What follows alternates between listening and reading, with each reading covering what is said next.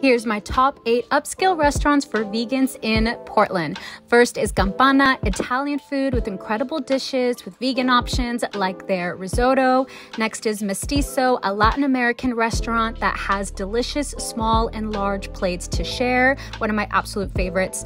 Award winning Kann made the list, of course, for their outstanding West African and Haitian dishes with several vegan options, including their desserts. I keep thinking about their food, it's so good. Janken is a stunning restaurant in the Pearl with Japanese and Korean fusion cuisine. It's an absolute must. Republica's chef tasting experience I highly recommend, and thankfully they can accommodate to vegans.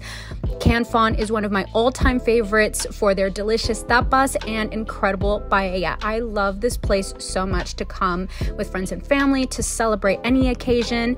Dame is the cutest spot, and their risotto is honestly one of my all time favorites. I truly love their restaurant and their seasonal dishes.